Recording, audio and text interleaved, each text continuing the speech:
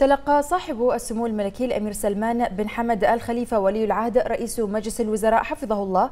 رسالة شكر من سمو الشيخ علي بن خليفة آل خليفة مستشار سمو ولي العهد رئيس مجلس الوزراء. أعرب فيها عن بالغ شكره واعتزازه بالثقة الملكية السامية بتعيينه مستشارا لصاحب السمو الملكي ولي العهد رئيس مجلس الوزراء. وأكد سموه فخره بالمشاركة في مسيرة الخير والنماء التي أسسها والد الجميع الأمير الراحل صاحب السمو الشيخ عيسى بن سلمان الخليفة وبدعم ومساندة الوالد صاحب السمو الملكي الأمير خليفة بن سلمان الخليفة رحمهم الله وبمباركة حضرة صاحب الجلالة الملك حمد بن عيسى الخليفة ملك البلاد المعظم حفظه الله ورعاه.